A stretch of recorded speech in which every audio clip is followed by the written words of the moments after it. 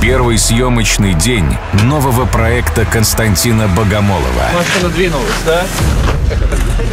Киносериал «Хороший человек» собрал хорошую команду.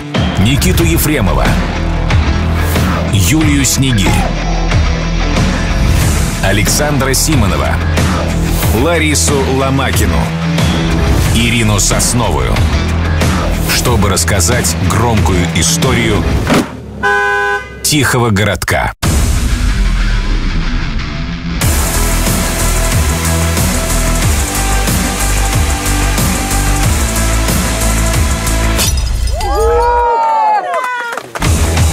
Премьера киносериала «Хороший человек».